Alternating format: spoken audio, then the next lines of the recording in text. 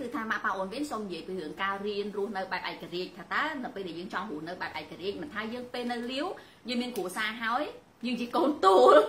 នៅកូនទូលជាងគេតែអាការរៀនរស់នៅឯករាជ្យនេះវាសំខាន់អត់សម្រាប់យើងហើយបើយើងចង់បានឯករាជ្យភាពហ្នឹងតើយើងត្រូវមានអីខ្លះពីព្រោះពេលខ្លះយើងទៀមទាឯករាជ្យក៏ប៉ុន្តែលុយនៅចាយលុយម៉ែឪនៅផ្ទះមួយម៉ែឪអត់មានលុយបង់ផ្ទះខ្លួនឯងចឹងវាពិបាកម្យ៉ាងដែរអញ្ចឹងក៏យើងចង់នាំគ្នានិយាយគ្នាពី អ្វីទៅគេហៅថាការរៀនរស់នៅបែបឯករាជ្យវាសំខាន់ដែរអត់ហើយវាអាចទៅរួចដែរឬក៏អត់ពីព្រោះពួកខ្ញុំហើយគួរធ្វើអត់ហើយគួរធ្វើអត់ពីព្រោះពួកខ្ញុំទាំងពីរនេះតាំងពីដើមហ្មងនិយាយទៅ big fan ហ្មងអញ្ចឹងហើយបានជាលក្ខខណ្ឌរបស់ពួកខ្ញុំគឺគាត់មានអាហារូបករណ៍ខ្ញុំអាចទិញផ្ទះបានបើខ្ញុំអត់មានផ្ទះខ្លួនឯងខ្ញុំអត់ការទេព្រោះខ្ញុំត្រូវការឯករាជ្យនិយាយទៅវ៉ូ big fan តែដល់ពេលមានកូនអូននឹកម៉ែណាស់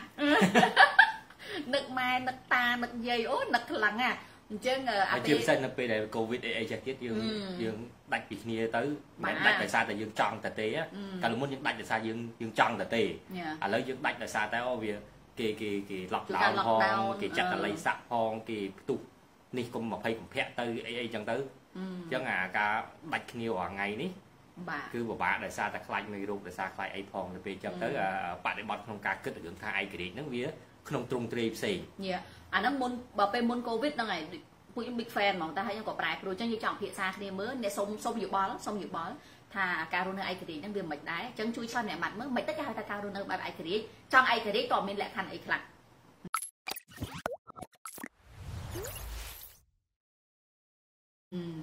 ជួយឆ្លើយមកជួយឆ្លើយមកចាំពួកខ្ញុំអស់ទៅអស់កន្លាតាមខ្លួនមានអ្នកមុនគាត់សួរថាម៉េចគាត់សួរគាត់សួរថាមុនរៀបការធីមអីខ្លះអូអូអូអាហ្នឹងអាហ្នឹងមានចំណុចមួយអាចឆ្លើយបានអឺ រឿងឯករាជ្យហ្នឹងដែរអាហ្នឹងខ្ញុំខ្ញុំគិតតាំងពីមុនការហ្នឹងណាថាព្រោះព្រោះមើលទៅលើបទពិសោធន៍អ្នកដែលធ្វើការជាមួយគ្នាអ្នកដែលអឺស្គាល់គ្នាមិត្តភ័ក្តិហើយនឹងគ្រួសារដែរជាពិសេសប្តីប្រពន្ធអ្នកដែលនៅជុំវិញខ្លួនខ្ញុំតាំងពីមុនខ្ញុំការខ្ញុំចាប់អារម្មណ៍ថាបើសិនជាយើងអត់មានចំណុចហ្នឹងទេពួកយើងគិតទៅលើបុគ្គលខ្លួនឯងយើងពិបាកគឺឯករាជ្យភាពទៅលើ3ចំណុចឯករាជ្យភាពទៅលើរឿងចំណេះដឹងឯករាជ្យភាពទៅលើរឿង ហិរញ្ញវត្ថុហើយនឹងឯករាជ្យភាពទៅលើផ្លូវចិត្តអាផ្លូវចិត្តហ្នឹងគឺ spiritual ហ្នឹងហើយអា3ហ្នឹងគឺធំធំដែរដែលខ្ញុំគិតថាចំណេះដឹងលុយផ្លូវចិត្តហ្នឹងហើយខ្ញុំខ្ញុំគិតថាហ្នឹងវាសំខាន់សម្រាប់យើងក្នុងនាមជាបុគ្គលមុនពេលដែលយើងសម្រេចចិត្តបន្តជីវិតទៅជាជីវិតគូសូមបញ្យល់សូមសូមនិយាយហ្នឹងតិចសិន អារឿងលុយយើងដឹងហើយមុនពេលដែលយើងអត់តមានឯករាជ្យភាពរឿងលុយហ្នឹងយើងពិបាកយើងពិបាកមិនតាម៉ែឲ្យងើបម៉ោង6គឺចង់ចង់ត្រូវងើបម៉ោង6ត្រូវឧទាហរណ៍ត្រូវជួយកំពងចាខ្វាយទុកលក់អីចឹងត្រូវជួយហូតតុកទាវទៅនៅអាហ្នឹងគឺយើងចង់ក៏ដោយយើងមិនចង់ក៏ដោយយើងវានៅក្រុមសម្ពាធអ្នកណាដែលដែលចាយលុយឲ្យចេញលុយឲ្យយើងចាយអាចជាពុកម្ដាយអាចជាពូមីងអាចជា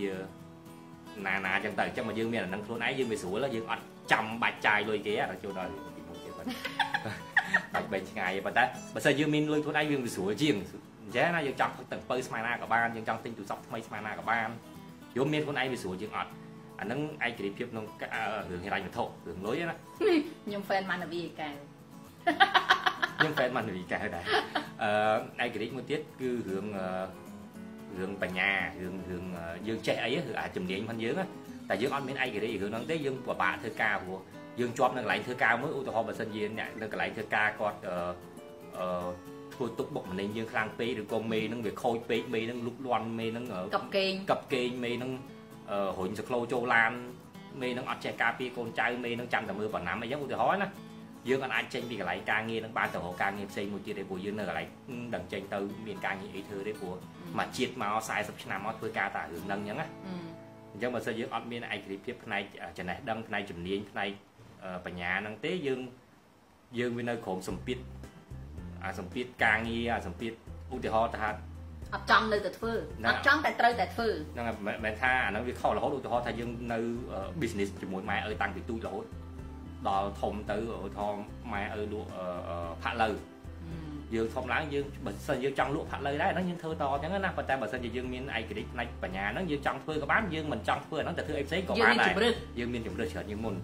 ចឹងហ្នឹងឯករាជ្យជារឿងហិរញ្ញវត្ថុហ្នឹងឯងដូចម៉ាក់ក្មេកខ្ញុំលក់បានចាប់រួយនៅផ្សារថ្មីលបឲ្យបានចាប់រួយហ្នឹងតែមាន100%ថាពួកខ្ញុំពីរនេះអត់ធ្វើទេហ្នឹងហើយហ្នឹងចុះថាទោះបីម៉ែអើយឲ្យក៏អត់អត់ចេះខាងនឹងដែរចេះខាងអីផ្សេងបើមានជំរឹះនឹងទុកជាជំរឹះមួយដែលយើងអាច ត្រឡប់មកវិញបានបើសិនជាយើងធ្វើអីកើតឧទាហរណ៍ណាវាស្រួលហើយវាមានតំណក់មួយធ្លាប់យើងការពារពីអា shock ពីអាអតិពលនៃការសម្រេចចិត្តអត់ចេញផងយើងហ្នឹងប៉ុន្តែបើសិនជាយើងមានអឺឯករាជ្យភាពផ្នែកបញ្ញាទៅយើងចង់ទៅធ្វើអីក៏បានស្រេចចិត្តយើងយើងមានយើងមានជំនាញច្បាស់លាស់ឧទាហរណ៍ថាយើងឯកទេសខាង audit ច្បាស់លាស់អញ្ចឹងវាយើងមិនចង់ជួយលក់ចាប់ព្រួយម៉ែទេក៏ទៅធ្វើការបានហើយទៅធ្វើការបើសិនជាក្រុមហ៊ុនធ្វើការវាបង្កើតទៅធ្វើការក្រុមហ៊ុនផ្សេងមួយទៀត បើសិនជាធ្វើការឯកជនកើតទៅធ្វើការរដ្ឋធ្វើការរដ្ឋកើតធ្វើការឯកជនអញ្ចឹងចង់និយាយយើងលោតចុះលោតឡើងបានណាតែហ្នឹងសំខាន់ណាស់ព្រោះយើងត្រូវ grow អាពេលដែលយើងក្នុងកំឡុងពេល20ជាង30ជាងហ្នឹងយើងត្រូវលោតពីកន្លែងមួយទៅកន្លែងមួយឲ្យស្គាល់មនុស្សច្រើនស្គាល់បទពិសោធន៍ច្រើនស្គាល់ position ច្រើនទៅហ្នឹងអញ្ចឹងអាហ្នឹងឯករាជ្យផ្នែកបញ្ញាបញ្ញាស្មារតីបាទមួយទៀតហ្នឹងរឿង spiritual ហ្នឹងអារឿងរឿងតខ្លួនផ្លូវចិត្តហ្នឹងហើយផ្លូវចិត្តហ្នឹងបើសិនជាយើង អឺអឺអាហ្នឹងបាក់បញ្យល់ទេណាប៉ុន្តែយើងយើង satisfy មួយខ្លួនឯងអត់យើងចូលយើងចេះនៅជាមួយខ្លួនឯងអត់ណាបើសិនជាយើងអត់ចេះនៅជាមួយម្នាក់ឯងទេបានអាហាររំកទៅក្រៅហើយប៉ុន្តែសម្រាប់ចិត្តថាអត់ទៅវិញដោយសារតែអត់ចេះនៅម្នាក់ឯងទេ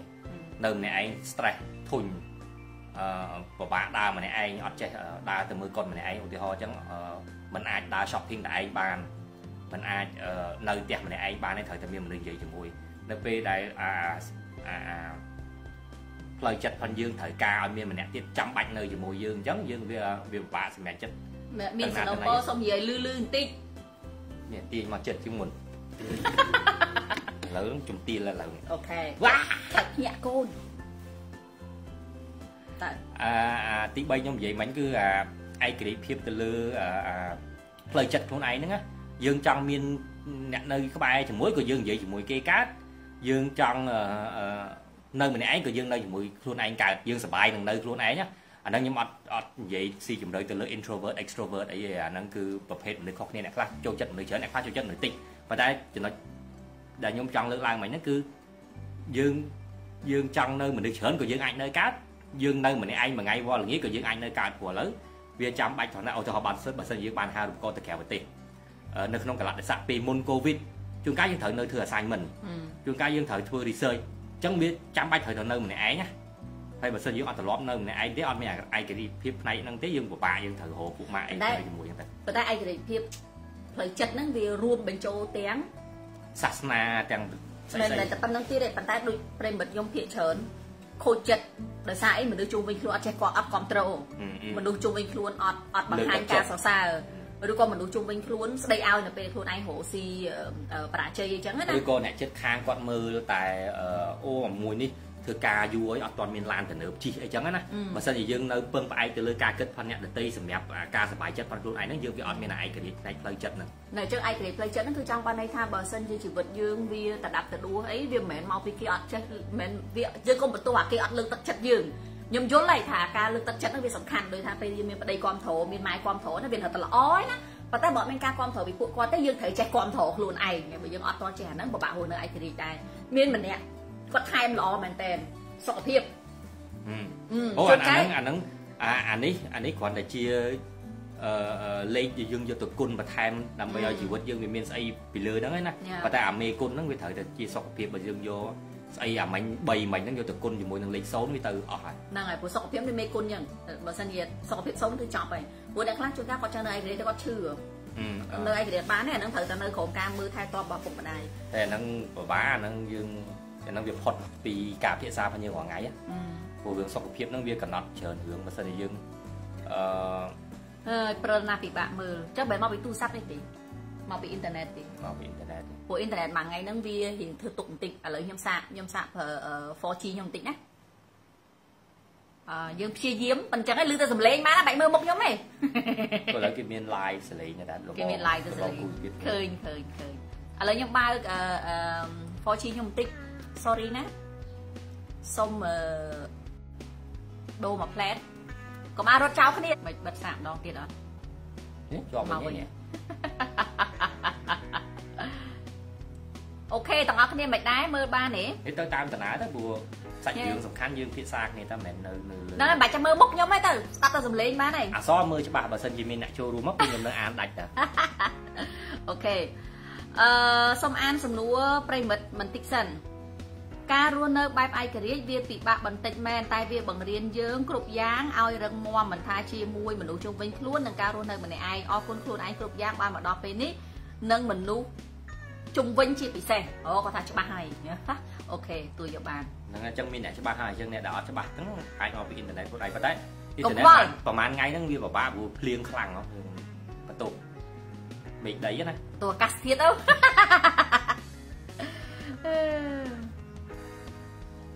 បងសូមផ្ដល់យោបល់ហេតុអីខ្ញុំចូលចិត្តនៅម្នាក់ឯងហើយក៏សម្រេចចិត្តថាអត់យកគ្រូសាទេតែម្ដាយខ្ញុំថាត្រូវតែយកគួរធ្វើការសម្រេចចិត្តបែបណាអូ អេស៊ីជំរឿស៊ីជំរឿឆ្លើយប្តីហើយហៅបងទេវន្តរោមកឆ្លើយណែបើក Wi-Fi វិញហើយបងហើយ 4G បិទហើយបើក Wi-Fi វិញហើយខ្ញុំគិតថាអានេះខ្ញុំនិយាយដកក្រៅប្រធានបទយើងស្នេហាទៀតនៅពេលដែលយើងយើងស្នេហាយើងកុំកំណត់យើងកុំកំណត់ថាត្រូវតែនៅម្នាក់ឯងឬក៏ត្រូវតែការពីព្រោះតាមពិតវាមិនមែនអញ្ចឹងទេ ជួនកាលឥឡូវនេះយើងកំណត់ថាយើងចង់នៅម្នាក់ឯងអាហ្នឹងមកពីយើងអត់តន់ជួបមនុស្សម្នាក់ដែលធ្វើឲ្យយើងប្រែប្រួលប្តីខ្ញុំអត់ដែរចង់មានសង្សារទេចង់មានសង្សារអាយុ33ឆ្នាំហ្នឹងហើយប្តីខ្ញុំកំណត់ថាអាយុតាមផ្លែនតាមផែនការតរៀនចាប់អនុបណ្ឌិតអាយុ33ឆ្នាំបានចង់មានសង្សារ22បាទចាក់ស្ដែងមែនតើ22ជួបខ្ញុំខ្ញុំញ៉ែបានចឹងវាវាប្រែប្រួលរួចជាស្រេចហើយអញ្ចឹងចង់និយាយថាយើងកុំកំណត់ថាយើងយើងទៅប្រាប់ម៉ែយើងថាខ្ញុំមិនការហើយខ្ញុំខ្ញុំចង់នៅម្នាក់ឯង ទីមួយយើងទៅប្រាប់អញ្ចឹងដូចនាំតែធ្វើឲ្យគាត់អត់សុបាយចិត្តហើយគាត់គួរឲ្យជំរុញយើងបន្ថែមទៀតទេយើងកុំឆ្លើយថាអញ្ចឹងយើងថាជួបអ្នកណាម្នាក់ខ្ញុំគួរឲ្យយកទេហើយមែនទីមួយនិយាយម៉ែយើងសុបាយចិត្តប៉ុន្តែទី2មែននៅពេលណាមួយដែលយើងជួបអ្នកណាម្នាក់គឺយើងស្រឡាញ់គេខ្លួនឯងហ្មងយើងអត់យើងអត់ចាំបាច់ត្រូវអ្នកណាបខំឬអីទាំងអស់ហ្មង ដូចខ្ញុំនិយាយចឹងប្តីខ្ញុំដូចគ្នាគ្រងថា33ឆ្នាំចាំមានសង្សារជាក់ស្ដែងមែនតើមានសង្សារតាំងពី22ហើយមានសង្សារ3ឆ្នាំបានហើយ36កាយទៅហ្នឹងជាក់ស្ដែងមែនតើស្លាញ់10ឆ្នាំមុននឹងការអញ្ចឹងអ្វីបើនិយាយពីរឿងស្នេហាវាខុសពីរឿងរកស៊ីរឿងអីបន្តិចវាមិនមែនថាដល់ពេលហ្នឹងអត់2021យើងបើកក្រុមហ៊ុនអត់បាក់អេសពលុយឲ្យទៅគ្រប់មក2021បើកបានប៉ុន្តែសង្សារឬក៏អ្នកដែលយើងស្រឡាញ់យើងដែរកំណត់ថា2021ការហើយបើដល់ពេលហ្នឹងអត់តន់ជួបមនុស្សស្រឡាញ់ធ្វើមិនទៅចាប់អ្នកណាយកមកការឬក៏យើងអត់យើងអត់ចង់ការយើងអត់ចង់មានគ្រួសារ ប៉ុន្តែពេលជាក់ស្ដែងមែនទេជួបអ្នកណាម្នាក់មកអើយមួយថ្ងៃមួយថ្ងៃនឹកគេអើយចាប់ការទៀតចុះអញ្ចឹងអារឿងថានេះហ្នឹងខ្ញុំថាយើងនិយាយមួយអ្នកម្ដាយយើងទៅឪពុកយើងហ្នឹងថាជួបអ្នកណាដែលខ្ញុំត្រូវចិត្តម៉ែត្រូវចិត្តដែរខ្ញុំគង់អាការទេយើងយើងនិយាយបើបើអត់ជួបអាហ្នឹងអត់ជួបតាមហ្នឹងទៅយើងប៉ុន្តែយើងកុំអះអាងកំណត់ថាអត់ទេខ្ញុំអត់ការខ្ញុំចង់នៅម្នាក់ឯងយើងយើងយើងកុំកំណត់ចឹងព្រោះយើងអត់តន់ស្គាល់ខ្លួនឯងថ្ងៃស្អែកមិនទេហ្នឹងហើយយើងស្គាល់តែខ្លួនយើងថ្ងៃហ្នឹងឯងឥឡូវយើងចូលដល់ប្រធានបទយើងរឿងនិយាយរឿងរស់នៅ ឯករាជ្យហ្នឹងណាខ្ញុំសូមចាប់ផ្ដើមជាមួយនឹងយមនៃនៃការរស់នៅឯករាជ្យហ្នឹងព្រោះមានសំណួរមួយល្អនេះគាត់ថា when I decided to live independently but my parents are old age uh, what shall we do ខ្ញុំខ្ញុំចង់និយាយរឿងឯករាជ្យពេលហ្នឹងហេត្រូវត្រូវត្រូវហ្នឹងហើយព្រោះឯករាជ្យមិនមែនបានន័យថារស់នៅម្នាក់ឯងទេយ៉ាឯករាជ្យគឺសម្រាប់ពួកខ្ញុំគឺសិទ្ធិក្នុងការសម្រេចឲ្យធ្វើបាន សិទ្ធិនៅក្នុងការសម្រេចចិត្តហើយធ្វើតាមការសម្រេចចិត្តរបស់ខ្លួនឯងបានហ្នឹងហើយឯករាជ្យមិនមែនបានន័យថាតតែនៅនៅម្នាក់ឯងមិនមែនទេឆ្ងាយពីម៉ែឪទេអត់ទេអត់ទេយើងអាចរស់នៅជាមួយម៉ែឪបានយើងអាចរស់នៅជាមួយនឹងមនុស្ស200នាក់ផ្សេងទៀតបានប៉ុន្តែយើងអាចក្នុងកំឡុងពេលហ្នឹងមានមានអ្នកខ្លះអឺពិបាកចិត្តមែនតើមានអ្នកខ្លះសប្បាយចិត្តមែនតើមានអ្នកខ្លះមានអារម្មណ៍ថាឯកោមែនតើបើទោះបីយើងរស់នៅក្នុងកំណើម200នាក់ក៏ដោយមានអ្នកខ្លះចង់មនុស្សមកបានមកទៅប៉ុន្តែគាត់អ្នកឯងអ្នកឯងក៏បាន អញ្ចឹងអាឯករាជ្យហ្នឹងសម្រាប់ពួកខ្ញុំមិនមែនរឿងថារស់នៅម្នាក់ឯងមានតបូលផ្ទះតែមួយជ្រប់តែឯងមិនមែនទេសម្រាប់ខ្ញុំគឺសម្រាប់ពីរអ្នកខ្ញុំគឺដូចខ្ញុំនិយាយមកអញ្ចឹងគឺវាមានធៀបផ្សំពីរហ្នឹងទី1មានអាចសម្រេចបានអត់ទី2នៅពេលដែលយើងសម្រេចហើយយើងអាចមានលទ្ធភាពធ្វើបានអត់អញ្ចឹងសិទ្ធិក្នុងការសម្រេចហើយនឹងលទ្ធភាពក្នុងការធ្វើរបស់ដែលយើងសម្រេចបានហ្នឹងណា ចឹងយើងអាចនៅជាមួយម៉ែឪយើងដដែល yes ប៉ុន្តែអ្នកដែលនៅជាមួយម៉ែឪហើយអត់មានឯករាជ្យភាពគឺយើងអត់សម្រាប់អីខ្លួនឯងកើតហើយយើងអត់អាចធ្វើអីខ្លួនឯងបានប៉ុន្តែបើសិនយើងនៅជាមួយម៉ែឪមែនដូចឥឡូវយើង practically នៅជាមួយម៉ែ practically នៅជាមួយម៉ែហ្នឹង practically នៅជាមួយមានផ្ទះមួយខ្លួនឯង yes ម៉ែឪអត់ចាំមកនៅជាមួយទេប៉ុន្តែបើនិយាយជាក់ស្ដែងគឺដូចពេលពងអង្គុយឡាយចឹងម៉ែពងមើលកូនកូនហើយហ្នឹងហើយដល់ពេលល្ងាចយើងនាំកូនទៅផ្ទះយាយតាហ្នឹងហើយរួមដូចទៅនៅជាមួយគ្នាចឹងដែរប៉ុន្តែ សម្រាប់ខ្ញុំបើទោះបីជាម៉ាក់ប៉ាខ្ញុំឬក៏ម៉ាក់ប៉ាណាណាមករស់នៅក្នុងដំបូលផ្ទះតែមួយក៏ដោយក៏ខ្ញុំគិតថាពីរអ្នកខ្ញុំមានឯករាជ្យបើធៀបជាមួយនឹងការលើកមុនណាបើធៀបជាមួយនឹង10ឆ្នាំមុនណាឯករាជ្យរបៀបម៉េចគឺបើសិនជាខ្ញុំចង់ទិញទូរស័ព្ទថ្មីខ្ញុំសម្រេចចិត្តថាទិញទូរស័ព្ទថ្មីហើយខ្ញុំមានលុយទិញទូរស័ព្ទថ្មីខ្ញុំអាហ្នឹងហ្នឹងត្រឡប់ទៅរឿងលុយបញ្ញាផ្លូវចិត្តហ្នឹងហើយត្រឡប់ទៅឡើងឡើងវិញអញ្ចឹងមិនបានថារស់នៅជាមួយម៉ាក់ប៉ាអត់មានឯករាជ្យទេមែនទេ សម័យមើលសិនយើងយើងរស់នៅជាមួយម៉ាក់ប៉ាយើងចាយលុយម៉ែឪយើងសម្រេចចិត្តទៅតាមការសម្រេចចិត្តគាត់គាត់ទិញឡានគាត់យើងអត់អាចសម្រេចចិត្តខ្លួនឯងបានទិញឡានម៉ាក់ហ្នឹងក៏មិនបានដែរតើតើម៉ាក់នេះដោយសារម៉ែឪគាត់ស្រឡាញ់អាហ្នឹងបានហៅថាអត់ឯករាជ្យអញ្ចឹងខ្ញុំបញ្ជាក់បន្តិចក្នុងករណីឪពុកម្ដាយយើងចាស់យើងចង់នៅឯករាជ្យនៅដល់ឡៃខ្ញុំអត់ខ្ញុំនៅដល់ឡៃខុសពីឯករាជ្យតាមពិតណាតាមពិតណាខ្ញុំដូចគ្នាខ្ញុំគិតថាយើងចង់នៅផ្ទះដាច់ដល់ឡៃ តែពិតខ្ញុំគ្រប់គ្រង3លានភាគរយពេលយើងការឲ្យត្រូវមានផ្ទះដាច់ដល់ឡៃខ្លួនឯងយើងធ្លាប់ឡាយម្ដងហើយយើងយើងថែមទាំងនិយាយថាបើទោះបីជាត្រូវបោះមនុស្សក៏គួរតែនៅផ្ទះម្នាក់ឯងដែរយ៉ាងណាមិញពេលដែលយើងមានម៉ែឪចាស់តាមពិតនៅឆ្ងាយពីគាត់ពិបាកជាងពេលនៅក្នុងផ្ទះជាមួយគាត់ហើយពិបាកទាំងអស់គ្នាពិបាកទាំងអស់គ្នាពីព្រោះអីប្តីខ្ញុំនៅពេលដែលឮថាតាឈឺតានៅអូអស័យហើយយើងនៅភ័យលៀបតាគាត់ឈឺពោះតាគាត់ឈឺពោះគឺយើងត្រូវជិះទៅជិះមកជិះទៅជិះមកនៅពេលដែលគាត់រៀងឈឺពោះយើងទៅថាគេងនៅនឹង ដល់ពេលហើយតាថាអត់អីគាត់អត់អីវិញយើងត្រឡប់មកវិញអាទៅមកទៅមកហ្នឹងហើយព្រោះឥឡូវយើងនិយាយឲ្យស្មោះត្រង់ទាំងអស់គ្នាព្រោះយើងយើង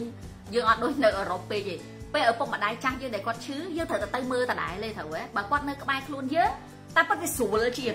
ហើយមិនមែនអ្នកអ្នកដែលនិយាយថាខ្លួនឯងឯករាជ្យហ្នឹងមិនមែនបានន័យថាគាត់ស្អប់ម៉ែឪគាត់គាត់ស្អប់តាយាយគាត់ណាដល់ពេលតាយាយគាត់ឈឺគាត់ត្រូវតែបារម្ភដូចគ្នាហ្នឹងហ្នឹងហើយអញ្ចឹងតាមពិតនៅក្បែរខ្មែរដូចពួកខ្ញុំអញ្ចឹងពួកខ្ញុំនៅផ្ទះនេះម៉ាក់ក្មេកខ្ញុំ as of right now ហ្មងនៅមុខផ្ទះខ្ញុំ គាត់ថានៅនៅផ្ទះដាច់គ្នាម៉ែខ្ញុំនៅពីរផ្លូវពីក្រោយហ្នឹងគាត់ថាតាយាយរៀងនៅឆ្ងាយទៅនៅអូអស័យប៉ុន្តែចង់និយាយថានៅម្ដុំម្ដុំហ្នឹងពួកខ្ញុំអត់គិតថាឯករាជ្យតតែថាយើងនៅតែពីរអ្នកដែលអត់មានការចូលរួមសោះពីសមាជិកគាត់ហើយអ្នកណាគេឈឺក៏មិនបាច់ខ្វល់អីមិនមែនទេអាហ្នឹងមិនមែនមិនមែនឯករាជ្យអាហ្នឹងអាត្មានិយមត្រូវអូយល្អណាស់ប្តីឯករាជ្យមិនមែនបានន័យថាអាត្មានិយមទេប្តីខ្ញុំនិយាយល្អម្លេះហ្នឹងហើយអញ្ចឹង ភាកច្រើននៅពេលដែលយើងប្រើពាក្យថាខ្ញុំចង់រស់នៅឯករាជ្យពេលស្ដាប់ទៅវាទៅជាអាត្មានិយមបាទយើងអត់ចង់មើលម៉ែឪអត់ចង់អីចឹងណាប៉ុន្តែបើសិនជាយើងនៅជាមួយម៉ែឪរហូតហើយស្ថិតនៅក្រោមការសម្រេចចិត្តរបស់គាត់រហូតបានន័យថាយើងអត់ធំទេយើងនៅតែក្មេងអញ្ចឹងហ្នឹងហើយអញ្ចឹងយើងត្រូវការចេះសន្សំលុយយើងត្រូវការមានមានសមត្ថភាពមានលទ្ធភាពអាចទិញផ្ទះបានចង់និយាយថាបើយើងទិញហើយនៅជាមួយគ្នាក៏នៅតែយើងមានលទ្ធភាពណាយើងយើងអត់ចាយតែលុយគាត់ណាយើងមានលទ្ធភាពអាហ្នឹងគឺ កត្តាមួយដែលបញ្ជាក់ថាយើងឯករាជ្យអញ្ចឹងហើយបានជាខ្ញុំធ្លាប់និយាយពីមុនមកថាខ្ញុំមិនសមលុយឲ្យអាអូនតាំងពីឥឡូវទៅតាំងពីមុនអាអូនអាយុ8 10ឆ្នាំដែលអាចបើក account ធនាគារខ្លួនឯងបានហ្នឹងគឺខ្ញុំមិនសមលុយឲ្យកូនទុកឲ្យហើយដើម្បីឲ្យនៅពេលដែលកូនខ្ញុំគ្រប់អាយុដែលគាត់អាចសម្រេចចិត្តខ្លួនឯងបានគាត់មានចំណេះល្មមគ្រប់គ្រាន់ដែលអាចដែលអាចសម្រេចចិត្តខ្លួនឯងបានគាត់មានសុខភាពផ្លូវចិត្តគាត់ល្អដែលគាត់អាចមើលថែទាំជីវិតខ្លួនឯងបាន ខ្ញុំមានលុយមួយចំនួនដែលអាចជួយជំរុញការសរុបនៅបែបឯករាជ្យរបស់គាត់ហ្នឹងបានកាន់តែខ្លាំងខ្ញុំអត់ចាំរហូតដល់កូនធំទេដល់ទៀតឯករាជ្យមិនបានថាព្រោះនៅម្នាក់ឯងទេ Yes ហ្នឹងហើយប៉ុន្តែគ្រាន់តែថាយើងយើងត្រូវការទាំងអស់យើងត្រូវការទាំងលុយយើងត្រូវការទាំងចំណេះដឹងយើងត្រូវការទាំងបញ្ហាផ្លូវចិត្តប៉ុន្តែគ្រាន់តែថាក្នុងនាមយើងជាឪពុកម្ដាយយើងប្រឹងទាំងអស់លុយយើងចេះតែសន្សំទៅតែតតិចតួចសន្សំឲ្យកូនទៅយើងមានកណន័យហីគេកណន័យកុមារដែលយើងសន្សំនៅ CIMB ហ្នឹង កណន័យកុមាររបស់ CIMB យើងចេះសន្សំតែតតែតទៅយើងមានតិចសំតិចច្រើនសំច្រើនតាមខែតាមថ្ងៃអញ្ចឹងទៅគេមានកំណត់ឯណាដាក់ម៉ានក៏បានដែរហ្នឹងអញ្ចឹងយើងសំតែតតែតល្មមទៅថាដល់ពេលចំណេះដឹងយើងសំឲ្យកូនដូចគ្នាយើងខំប្រឹងប្រែងឲ្យកូនចូលចិត្តអានសភៅយើងខំប្រឹងអឺបរៀនកូននិទានរឿងឲ្យកូនស្ដាប់បរៀនកូនឲ្យយល់ពីជីវិតយកកូនទៅហែទឹកឲ្យវាមាន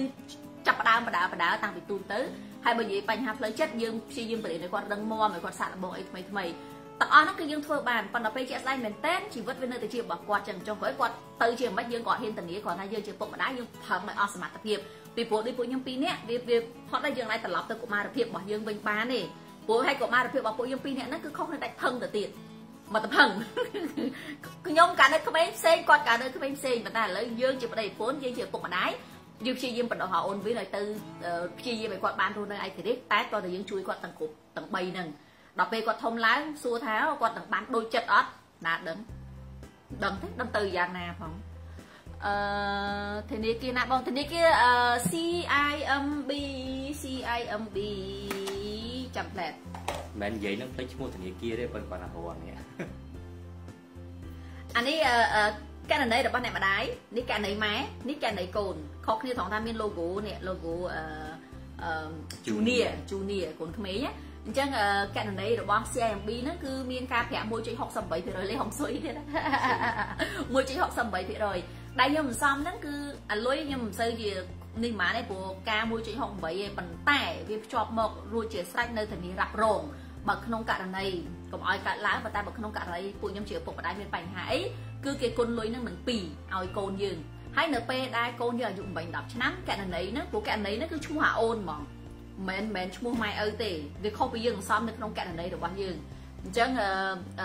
អាហ្នឹងគឺគឺយើងទុកឲ្យអាអូនហ្មងដល់ពេលដែលពួកយើងពេលដែលចុះគឺយើងត្រូវមានអឺសម្បត្តិកណៅរបស់អូននៅពេលដែលកូនធំឡើងអាយុគ្រប់8 10ឆ្នាំគឺគេនឹង transfer អា junior account ហ្នឹងទៅជា save វិញ account ឲ្យគាត់ដែលគាត់អាចប្រើធម្មតាវិញបានអញ្ចឹង អានេះក្នុងករណីឥឡូវអូនអាចដកបានដែរតែម៉ែឪដកបានប៉ុន្តែគេផាក5រៀលតែគេផាក5រៀលដល់ពេលយើងដកដកផាក5រៀលព្រោះគេឲ្យយើងសំលុយឲ្យកូនគេមិនមែនឲ្យយើងដកចាយទេ Yes ហើយវាមានធានារ៉ាប់រងអញ្ចឹងយើងការពារទុកឲ្យហើយទៅហើយការប្រាក់1.68យើងយើងដល់អ្វីដែលល្អបំផុតគឺយើងដាក់មិនក៏បានដែរចង់និយាយថាយើងមាន10រៀល20រៀល30រៀលហើយមួយខែចង់ទៅដាក់ឲ្យយើងអាសាទៅ4 10ដងក៏បានដែរតែពិតអាសាទៅអញ្ចឹងល្អជាងអាចាំចុងខែ ព្រោះភាគច្រើនតែចាំចុងខែចាំយកទៅដាក់ដល់ចុងខែចែកឲ្យអស់លីងស៊ីមីគលចែកឲ្យលីងអញ្ចឹងមានបានដាក់ប៉ុណ្ណឹងតិចតួចតិចតួចទៅអូខេហើយនៅតែព្រិលអីហ៎ស្ដាប់សំឡេងទៅមុខខ្ញុំអត់ទៅសំខាន់ទេព្រិលនឹងស្ដាប់បានដែរបើព្រិលស្ដាប់បានអត់អីទេបើព្រិលស្ដាប់អត់បានអាហ្នឹងមិន ខ្ញុំធ្វើការម៉ោង8ដល់ម៉ោង5ប្តីធ្វើការដល់ម៉ោង10យប់នៅភ្នំពេញចង់យកកូនពីស្រុកមកដាក់សាលានៅភ្នំពេញម៉ោង8ដល់ម៉ោង5ដូចខ្ញុំដែរពេលចេញពីធ្វើការទៅយកគាត់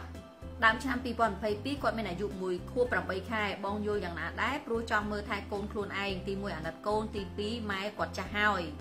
អូបងយល់ថាអាចទៅរួចអត់អានឹងអត់មានរឿងអីយល់ឬថាមិនយល់ទេអាហ្នឹង ពួកខ្ញុំយល់មិនក៏វាអត់ប៉ះពាល់ដល់រឿងគាត់សម្រេចវាអត់គួរប៉ះពាល់ដល់ការសម្រេចចិត្តរបស់គាត់ណាព្រោះពួកខ្ញុំថាឧទាហរណ៍បើសិនជាពួកខ្ញុំថាអត់គួរទេប៉ុន្តែមានអ្នកផ្សេងក៏គួរគេធ្វើបានដែរ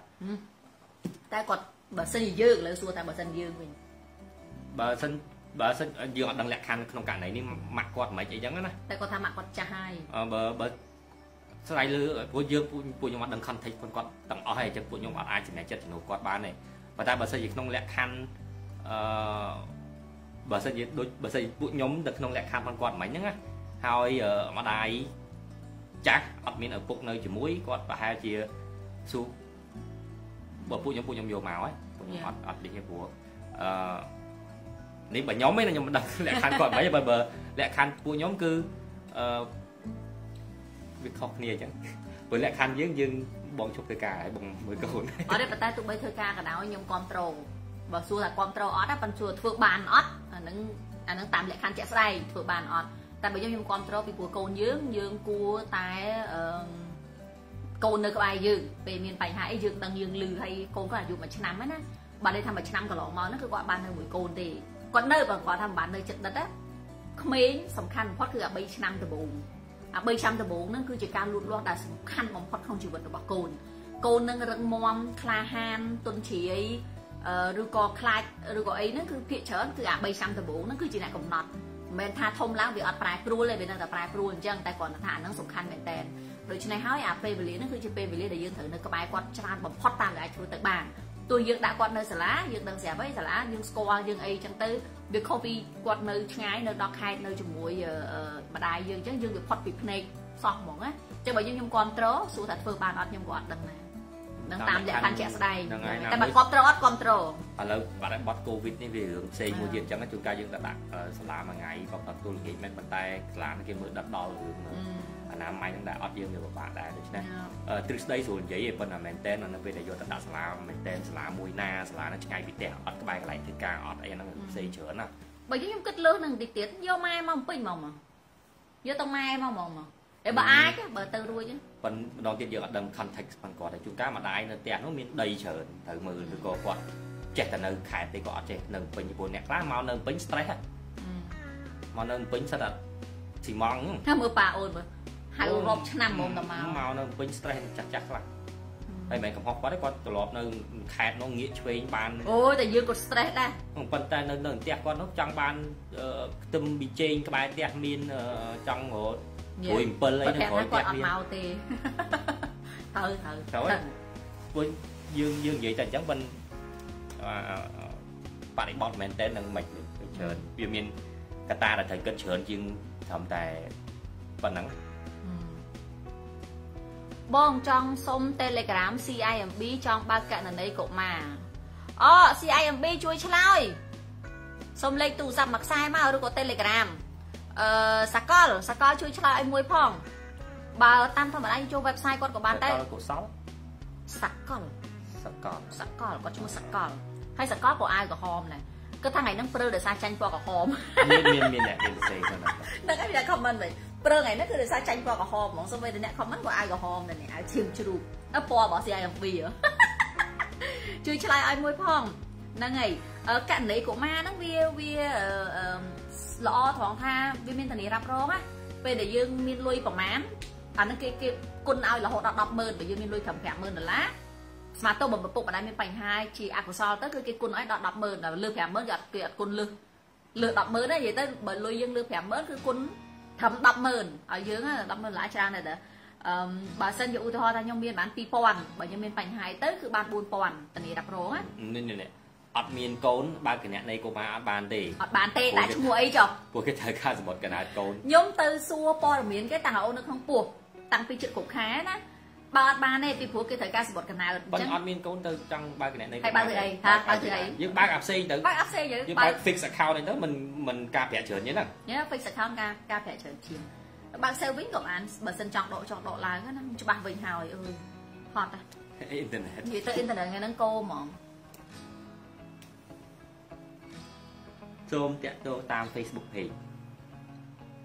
តាក់ទង Facebook ផនធនាគារបន្តទៅណ៎ CIMB Cambodia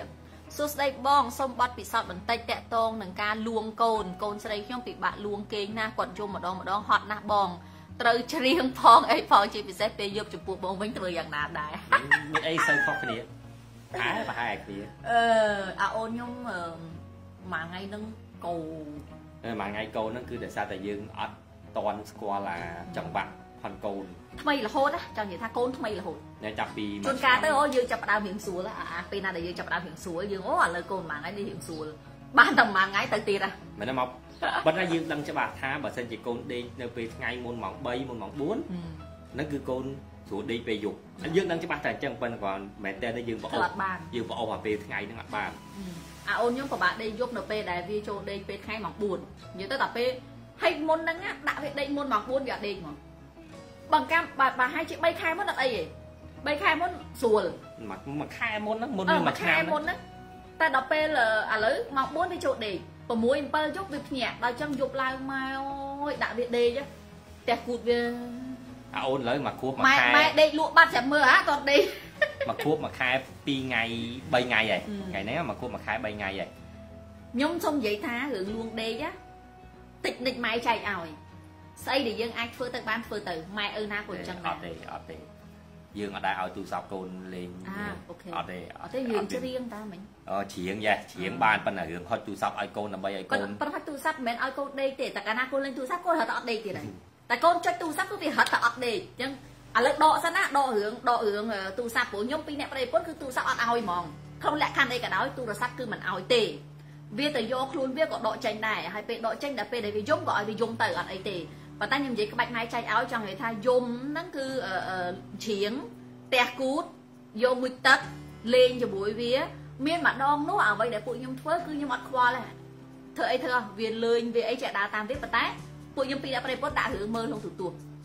ពួកខ្ញុំមើលខ្លួនឯងរឿងពួកខ្ញុំមើលខ្លួនឯងអញ្ចឹងការកាន់វាបដាមើលរឿងយើងខ្លួនវាបដាការពារកុំឲ្យតែវាដួលទៅក៏ការពារកុំឲ្យតែវាដួលដាក់វាលើកតេលប៉ុន្តែចង់និយាយថាពេលហ្នឹងគឺវាអត់ វាចាប់អារម្មណ៍ថាវាអត់មានណាគេលេងជាមួយពួកពេលហ្នឹងវាចូលឡងចិត្តមិន10យប់អីហ្នឹងដល់ពេលហើយគេគួយគួយគួយគួយឡើងខែដេកខ្លួនឯងធុញគេចង់អត់មានពីណាគេធុញហ៎អត់មានពីណាគេឲ្យ attention អញ្ចឹងហើយអានៅលើទូទួហ្នឹងអត់មែនរឿងមែនរឿងដែលវាចង់មើលទៀតហ្នឹងហើយពេលអញ្ចឹងទៅវាអត់ដឹងធ្វើអីពួកពួកខ្ញុំដឹងថាកូនខ្ញុំចូលចិត្តច្រៀងកូនកូនចូលចិត្តមើលបទចម្រៀងអីឬក៏មើលអីអញ្ចឹងណាដល់ពេលអញ្ចឹងខ្ញុំដាក់រឿងពួកខ្ញុំមើលវិញពួកខ្ញុំពីរអ្នកមើលដឹងធ្វើមិនហ៎ដល់ហើយទៅវាហត់ទៅវាឡើងដេក5នាទីដេកលក់បាត់ប៉ុន្តែមុំដល់ពេលហ្នឹងមិនដល់កន្លះយប់ទេណាអស់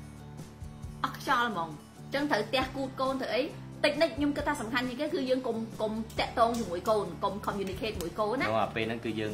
wind down គឺយើងលេងលេងលេងអីតែចង់ឲ្យកូនដេកហ្នឹងគឺយើងកុំលេងកុំអីគាត់កុំឆ្លើយតបយើងយើងចង់អញ្ចឹងមិនកូនធ្វើចឹងអត់ដល់រឿងមួយផ្សេងទៀតពិបាកមែនអាហ្នឹងគឺតាមហ្នឹងហើយបច្ចេកទេសរៀងខ្លួនចូលដល់រឿងផ្នែកមួយទៀតនៅពេលដែលយើងនិយាយរឿងឯករាជ្យហ្នឹងមួយមួយគិតដល់រឿងនៅផ្ទះដាច់ដライណាអឺ រឿងនៅផ្ទះដាច់ចលៃហ្នឹងគឺពួកខ្ញុំនេះហើយពីរនាក់នេះហើយដែរ Big fan អូ Big fan គឺថាมันអាចនៅផ្ទះជាមួយម៉ែឪបានទេដោយសារកាលពេលហ្នឹងពួកខ្ញុំគិតថាឯករាជ្យហ្នឹងគឺត្រូវខ្លួននឹងដាច់ដលៃពីគ្នាហ្នឹងមិនហៅឯករាជ្យអញ្ចឹងណាដែលពេលហ្នឹងនិយមន័យផាន់ឯករាជ្យសម្រាប់ពួកខ្ញុំពេលហ្នឹងហើយនឹងឥឡូវវាខុសគ្នាឆ្ងាយឥឡូវមានតែឯករាជ្យទេគាត់ធម៌ម៉ែរហូត សុំតួខ្ញុំញ៉ាំមួយខ្ញុំអត់តញ៉ាំអីប៉ុន្តែដូចខ្ញុំនិយាយមកអញ្ចឹងអារឿងឯករាជ្យហ្នឹងក៏វាអត់មែនបានន័យថាយើងលែងត្រូវការជំនួយយើងលែងត្រូវស្រឡាញ់ម៉ែឪយើងអត់បាននិយមយើងអាណិតលែងអាណិតយាយតាពេលគាត់ឈឺយើងលែងទៅមើលមែនទេឬឯករាជ្យហ្នឹងគឺរឿងការសម្រេចចិត្តក្នុងលទ្ធភាពតែអាចទៅធ្វើទៅបានណាដូច្នេះទោះបីឥឡូវក៏ដោយការពេលបងនៅជាមួយម៉ាក់ប៉ាការពេលលោកមុនណាមុនការត្រូវទិញនេះត្រូវទិញនោះត្រូវអីអីត្រូវភាសានេះឲ្យសម្រេចចិត្ត ជាមួយគាត់ហើយ most often than not គឺគាត់ជាអ្នកសម្រេចចិត្តឲ្យគាត់ថាអត់មុនណាតែគាត់អត់គឺអត់ដែរហ្នឹងអញ្ចឹងប៉ុន្តែពេលយើងឯករាជ្យខ្លួនឯងយើងយើងប្រាប់គាត់យើងអត់សុំការសម្រេចចិត្តពីគាត់ទេយើងប្រាប់គាត់អូយើងទិញនេះមូលហេតុនេះមូលហេតុនេះមូលហេតុនេះហើយយើងទិញយើងយកប្រើទៅប៉ុន្តែយើងនិយាយហ្នឹងយើងនិយាយប្រើប្រាស់ប្រកាសទូទៅមិនមែនគ្រឿងញៀនមិនអីអាហ្នឹងរឿងផ្សេងអាហ្នឹងអាហ្នឹងផុតដែនកំណត់នៃការពិសាហ្នឹងឯងសុំនិយាយរឿង ចម្រុងចម្រាស់មិនយើងនិយាយទៅរឿងឯករាជ្យម៉ែឪណាចុះប្តីប្រពន្ធនិយាយឈប់តដល់ហ្នឹងនិយាយរឿងផ្ទះមួយសិនមិននិយាយនិយាយនិយាយនិយាយរឿងផ្ទះហ្នឹងគឺរឿងទិញផ្ទះហ្នឹងឯងគឺពួកខ្ញុំចង់សម្រេចថាពេលការហើយត្រូវតែនៅផ្ទះដាច់ដライអញ្ចឹងណាអាចនៅផ្ទះទិញខ្លួនឯងអាចនៅផ្ទះជួលអាចនៅផ្ទះបងលួអញ្ចឹងទៅអីក៏បានដែរប៉ុន្តែនៅផ្ទះដាច់ដាច់ចេញហ្នឹងហើយដោយសារតែពេលហ្នឹងពួកខ្ញុំគិតថាគឺតតែនៅដាច់ពីគ្នាអញ្ចឹងនៅបន្ថែមឯករាជ្យ ហើយពួកខ្ញុំត្រូវហើយនឹងខុសក្នុងពេលតែមួយហ្នឹងគឺវាមានផ្នែកខ្លះត្រូវវាមានផ្នែកផ្នែកផ្នែកអឺខ្លះខុស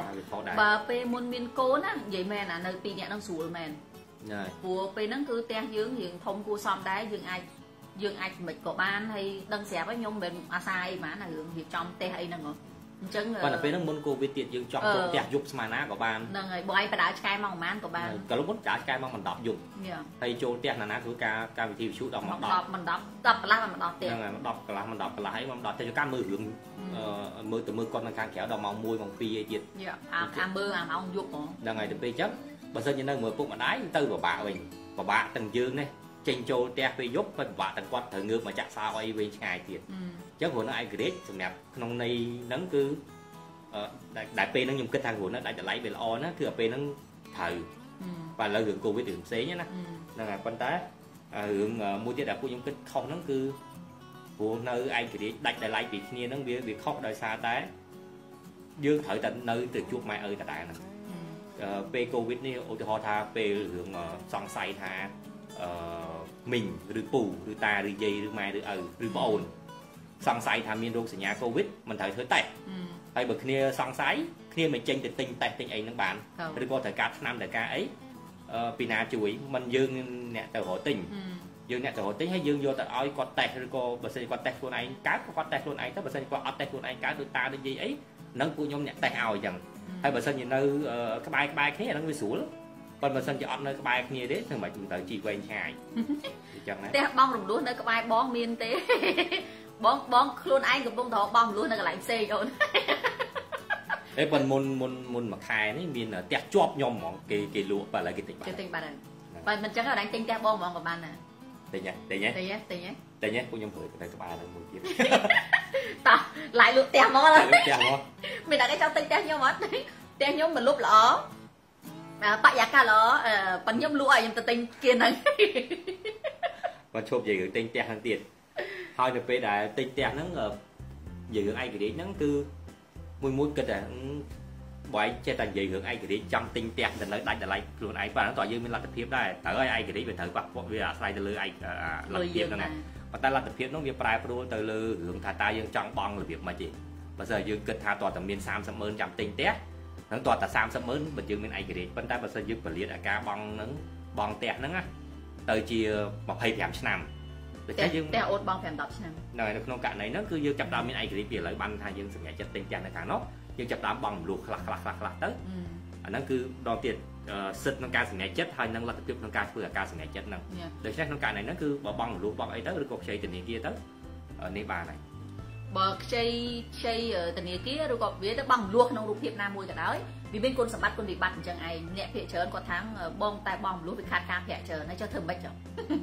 ហើយយើងយើងបងតែខ្ចីលុយបងមលួសហើយអត់ឲ្យការប្រាក់គេគេមិនឲ្យយើងវាត្រូវតែអស់ការប្រាក់អញ្ចឹងហើយអឺវាអត់ទៅរួចបងវាអត់អាចទៅរួចរឿងអីគេត្រូវតែមកឲ្យលុយយើងទិញមានតែប្រាក់ការប្រាក់តិចហើយនឹងច្រើនតែប៉ុណ្្នឹងហ្នឹងហើយវាអត់មានអត់សោះវាត្រូវតែខាតការប្រាក់អញ្ចឹងហើយបើយើងបង់ជាមួយបូរីជាទូទៅគ្រប់សឹងតែគ្រប់បូរីទាំងអស់គឺការមួយខែ1%បើដៃថាមួយឆ្នាំគឺពី10%ហើយហ្នឹងអត់ទាន់បូកនៅសេវាផ្សេងៗបើយើងបាញ់និយាយណា អញ្ចឹងបើយើងបង់មលុះនៅក្នុងបូរីទិញពីបូរីបង់បូរីតែម្ដងភាគច្រើនគឺប៉ុណ្ណឹងប៉ុន្តែយើងត្រូវចាំថាបើយើងអត់ចង់ខាតការប្រាក់ជាមួយរឿងមួយទៀតគឺសន្សំលុយប៉ុន្តែយើងសាកគិតមើលទៅថាផ្ទះឥឡូវបើផ្ទះល្វែងធម្មតាអាតម្លៃទៀបក៏ប្រហែលជា100000និង8 90000ណាណាយើងគិតថាតើរយៈពេលប្រហែលឆ្នាំដែលយើងអាចរក8 90000នឹងបានដោយឡែកពេលដែលយើងសន្សំបាន8 9ម៉ឺននឹងហើយតើផ្ទះវានៅតម្លៃប៉ុណ្ណឹងទៀតអត់នាំសំបានផ្ទះគុណ2យ៉ាងហោចហ្នឹងហើយអញ្ចឹងខ្ញុំព្រោះខ្ញុំបងមនុស្សផ្ទះដល់តែ2 អាផ្ទះមួយដែលខ្ញុំបងអឺចិត្តផុតហ្នឹងឥឡូវពេលដែលខ្ញុំត្រូវលក់វិញវាបានចំណេញច្រើនគួរសមអញ្ចឹងណាប៉ុន្តែវាខុសគ្នាតាមមនុស្សដែរដូចប្តីខ្ញុំគឺដឹងអត់ហើយព្រោះប្តីខ្ញុំអត់ទេរឿងជាពាក់លុយគឺគឺអត់ហ្មងបើខ្ញុំវាអត់មានបញ្ហាទេព្រោះខ្ញុំមានដឹងថាវាមិនអីមិនណាអញ្ចឹងសម្រាប់ខ្ញុំអាការបងមនុស្សសម្រាប់ខ្ញុំហ្នឹងជារឿងធម្មតាហើយគ្រាន់តែថាយើងជ្រើសរើសទៅបើការប្រាក់យោងយកពីបរិយាជាទូទៅវាពី10%តែបើសិនជាបង់អឺការប្រាក់ពីធនាគារដោយ CIMB ហ្មងបងអឺដូចបាន7មកបើកមើលទីមើល អឺ CIMB ដូចជា7.5នេះ7.5%ឯងហើយបង់បានដល់25ឆ្នាំបើបង់នៅបរិយាជាទូទៅ5 10ឆ្នាំអញ្ចឹងបើដេកថាបង់ជាប្រចាំខែហ្នឹងវាវានេះជាងវាអឺច្រើនការប្រាក់តិចជាងការប្រាក់តិចជាតិហ្នឹងហើយចឹងបើបងបូរីវា5 10ឆ្នាំតែជួនកាលទៅអញ្ចឹងយើងដាក់ឲ្យរៀងច្រើនប៉ុន្តែធម្មតាធនាគារបើយើងបង់របៀបថាខែណាយើងមានច្រើនណាក៏គេកាត់ឲ្យតាមហ្នឹងដែរមានម្នាក់ក៏សួរផ្ទះបងនៅណាប្រៃលៀបអូនប្រៃលៀបអានេះមានអ្នកជួយឆ្លើយហើយប្រហែលលៀប បងពងចង់ទៅទិញអាអាចិត្តហ្នឹងអញ្ចឹងអូនឯងទិញទិញផ្ទះបងហ្មងលក់បានបង30ម៉ឺនលក់ហ៎លក់ឲ្យយើងនៅអឺរកលុយបន្ថែមដើម្បីទៅទិញចឹងអូនមានលុយថែមទៅហេអាលុយថែមហ្នឹងបើអត់ចង់ថែមបើលក់បានស្មើទៅទិញអានោះហ្មងស្រួលអេអត់ទេអូនសុខចិត្តថែមវាប្តីពុនខ្ញុំខុសគ្នា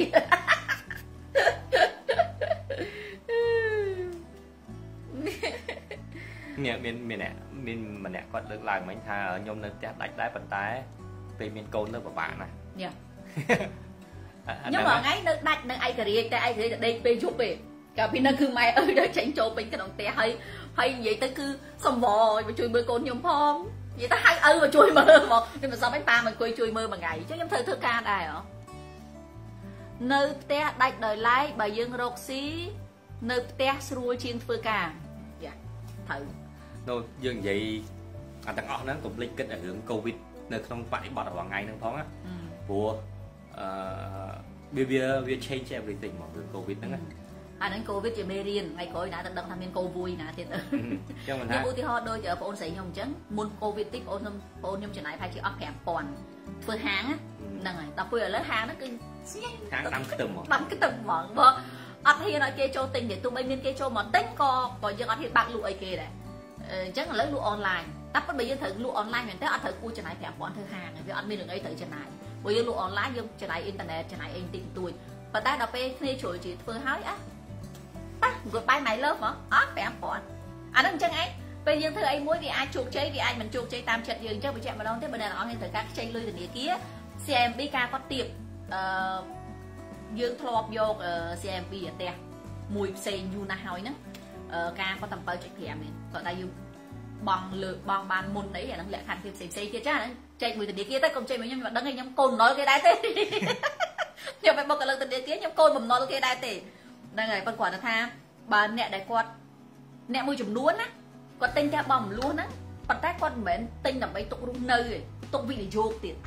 ណាគាត់ទុកវិនិយោគណាអញ្ចឹងអាអាធនាគារគេមានលក្ខខណ្ឌផ្សេងផ្សេងៗគ្នាដែរតែយើងគេមាន home loan ទិញនៅទិញនៅហ្នឹងហើយមានហើយ home equity អីនោះអានោះសម្រាប់ទិញរបស់រស់នៅ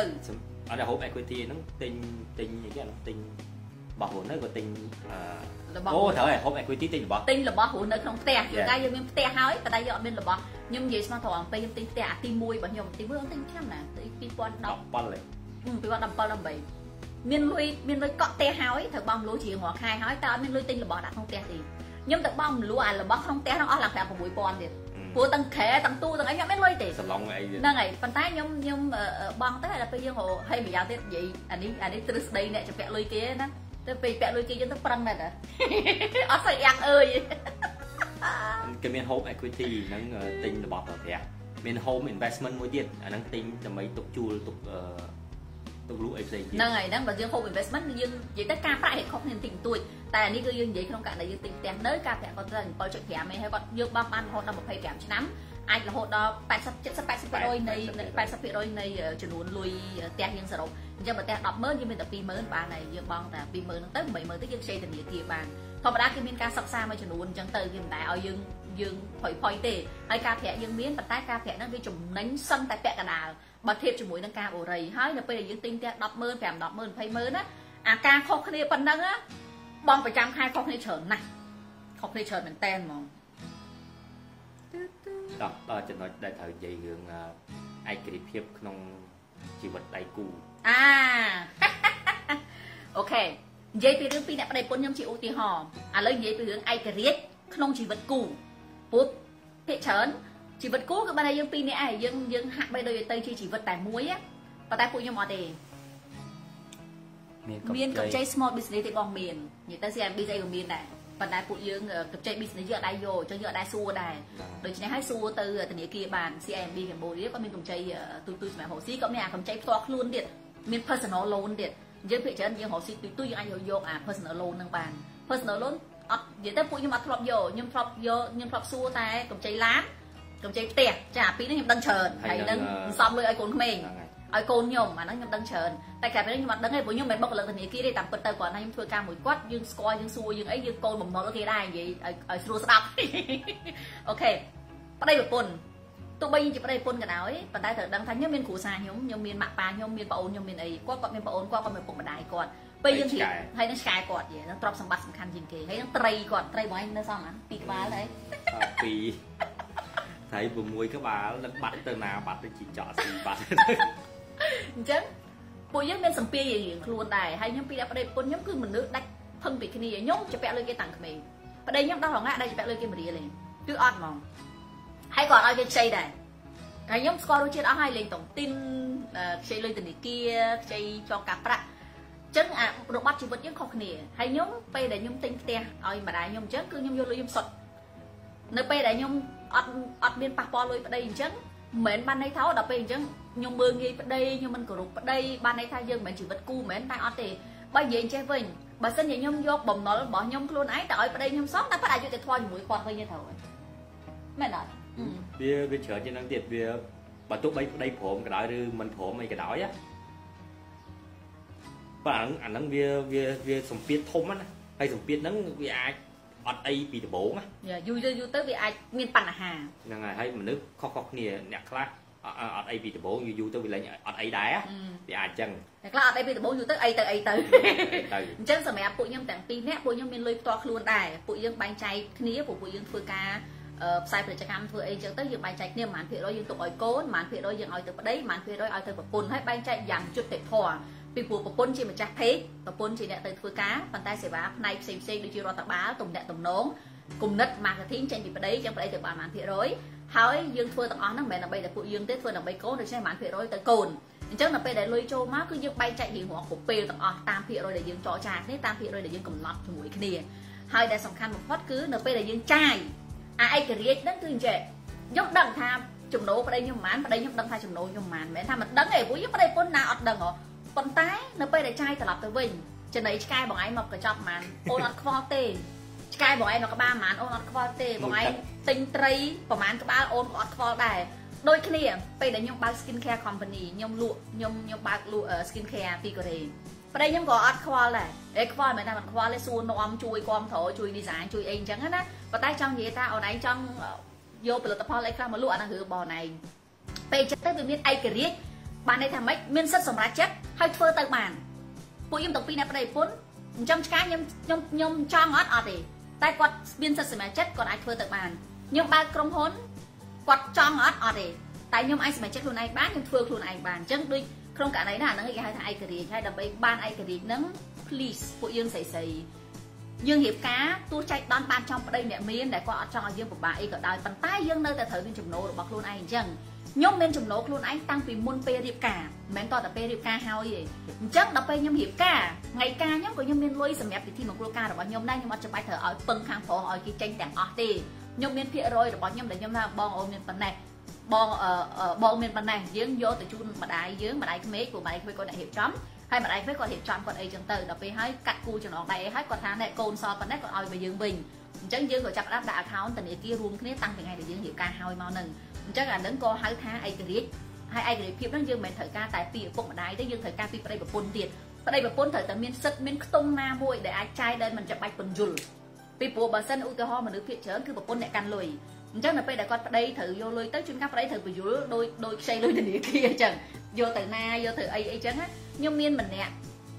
នឹងស៊ីរៀហ្មង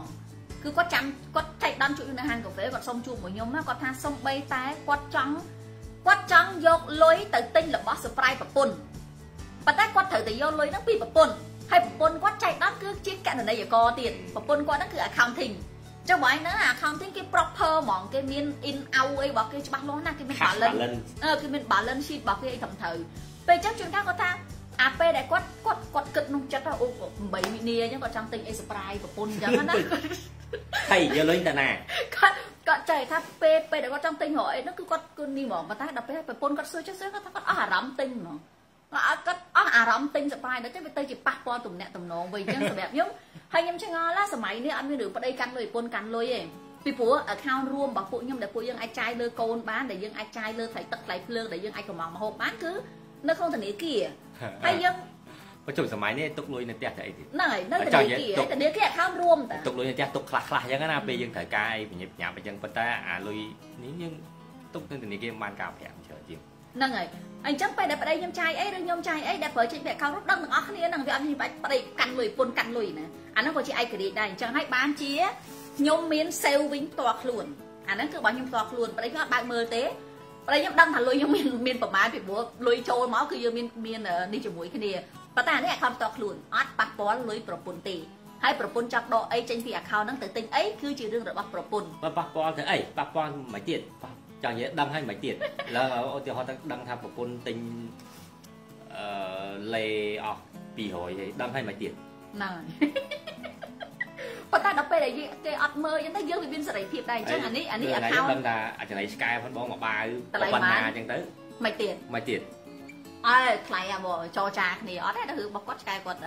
ញ្ចឹងអានេះគឺ account ធនាគាររបស់កូនខ្ញុំឈ្មោះកូនខ្ញុំ account ធនាគាររបស់ខ្ញុំឈ្មោះខ្ញុំប៉ុន្តែពួកយើងមាន account មួយទៀតឈ្មោះរួមអាហ្នឹងគឺសម្រាប់ចំណាយនៅក្នុងក្រុមគ្រួសាររបស់យើងដែលយើង យល់ស្របគ្នាថាក្នុងចំណោមចំណូលរបស់យើងយើងកាត់ប្រហែលភាគរយសម្រាប់រួមហ្នឹងតែយើងត្រូវតែមានលុយសន្សំផ្ទាល់ខ្លួនហើយខ្ញុំមានលុយសន្សំផ្ទាល់ខ្លួនមុនពេលខ្ញុំរៀបការមិនមែនចាំតរៀបការហើយទេព្រោះណាទៅដឹងលោកអើយនេះឃើញមុខចឹងចឹងអីលោកចិត្តអាក្រក់គុំរីអីណាទៅដឹងរីហេ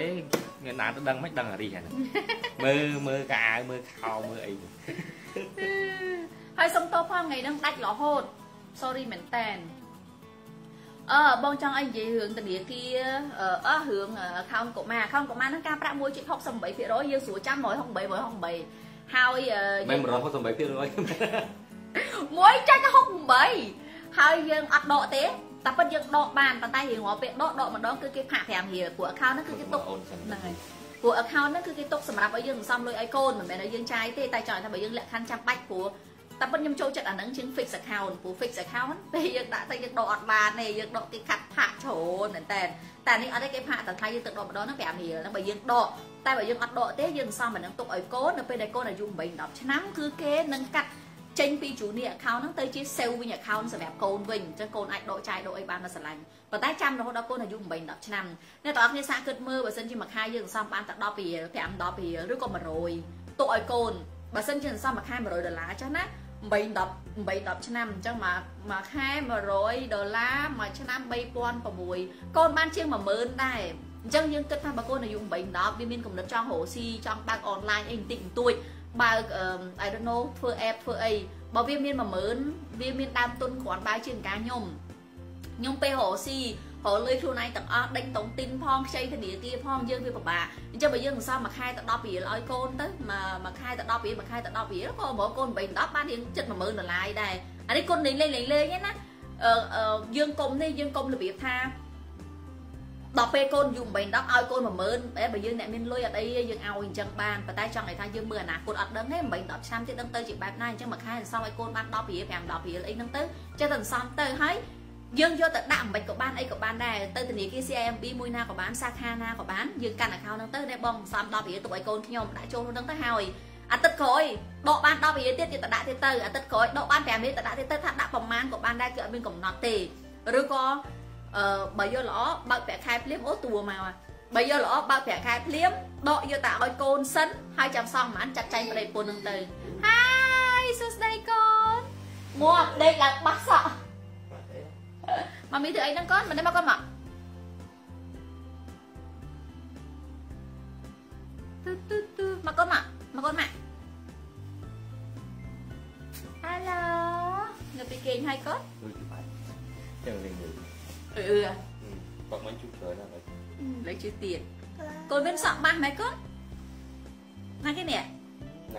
អឺបាក់មិនជុកច្រើនណាស់លេខជឿទៀតកូនមានសក់បាស់ម៉េចកូនណាគេនេះណាគេមុខចាស់ម៉េចកូនមកចាទុំយកពីដេកចុះហើយទឹកច្រើនពេកមួយថ្ងៃហ្នឹងអើជំរាបសួរកូនជំរាបសួរមួយមកជម្រាបសួរមួយសិនណាជំរាបសួរមួយសិនមកជំរាបសួរបាទជំរាបសួរឲ្យតាហើយអាងទៅហ្មងជម្រាបសួរអត់មើលអត់ឃើញទេមិនហ្នឹងទៅបារាអជំរាបសួរមួយទៀតកូនជំរាបសួរមួយទៀតជំរាបសួរអ៊ំពូមីងកូនអត់សាទុកសិនអាអូនឆ្ងល់អ៊ំពូមីងស្អីឃើញតែទូរស័ព្ទកូនវិញជំរាបសួរមួយវិញជំរាបសួរមួយបាទអត់ចង់អត់ឥឡូវមិនអចេះត់ឃើញប្រើមនុស្សហ្មង អូឥឡូវឥឡូវមាននេះហាមានការសម្រេចចិត្តខ្លួនគេខ្លាំងណាស់ឥឡូវហ៎ហើយអីកូនហើយអា no no no no no កូន no តាទៅមក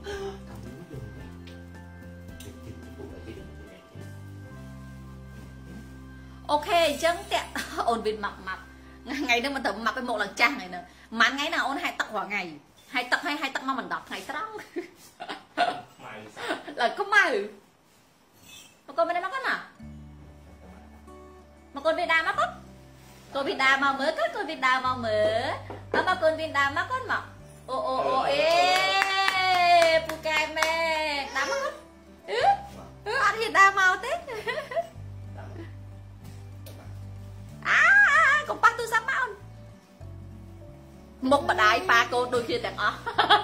ពូកែម៉ែដាមកកូនអឺអឺអត់ហ៊ានដាមកទេអាកុំប៉ះទូរស័ព្ទមកអូនមុខម្ដាយប៉ាកូនដូចគ្នាទាំងអស់ហើយទៅដូចគ្នាពុំតែមួយចុះបងឯងអូននឹងស្អីពុំតែមួយដែរពុំតែមួយស្អីដែរពីឯណាចូលស្ដាប់បងនិយាយពីភ្នំពេញផាកកុំអាអូនបងលុយទិញផ្ទះនៅនឹងមួយសិនបងកំពុងប្របែប្រមូលអូនប្តីបងអត់គ្រប់ត្រូលហើយប៉ុន្តែបងអឺ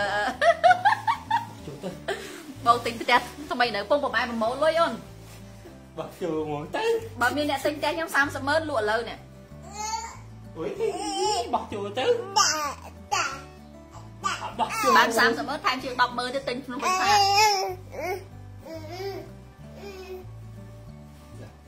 សួស្ដីប៉ូលីនអូនវិញញ៉ាំអីរាល់ថ្ងៃបងញ៉ាំតាពីងស្អីក៏ញ៉ាំដែរបាយសឡមនុស្សធំនំគ្រប់ប្រភេទចុះបើយើងរកស៊ីមួយគ្នាចំណូលតែមួយហ្នឹងហើយខ្ញុំពីប្តីពុនរកស៊ីជាមួយគ្នាតាចំណូលតែមួយចំណូលតែមួយទេព្រោះពួកខ្ញុំ រកស៊ីជាគ្រួសារអញ្ចឹងចំណូលតែមួយទេប៉ុន្តែឧទាហរណ៍ថាអញ្ចេះចំណូលចូលមួយខែ1000យើងចែកភាគរយគ្នាអឺនិយាយឥឡូវគេនិយាយត្រង់ហ្មងខ្ញុំបាន40%ខ្ញុំยังបានច្រើនជាងគេព្រោះព្រោះខ្ញុំអ្នកអ្នកចេញមុខអាចពេកពេកខ្ញុំអញ្ចឹងខ្ញុំបាន40%ប្តីបានអឺ30%កូនបាន30%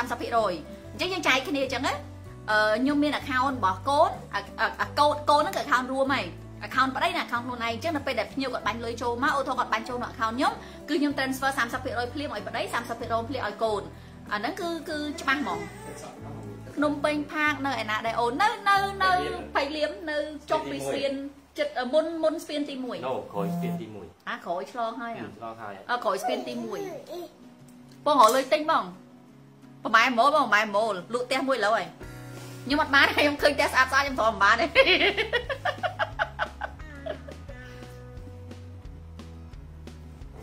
វិញញ៉ាំនំបាទខ្ញុំនំអាមីនខ្ញុំចង់ឯករាជ្យដូចបងណាស់រាល់ថ្ងៃមានសម្ពាធណាស់អូអឺអូណែនេះគាត់ណែណែណែណែម៉ាម៉ាញ៉ាំម៉ាម៉ាញ៉ាំ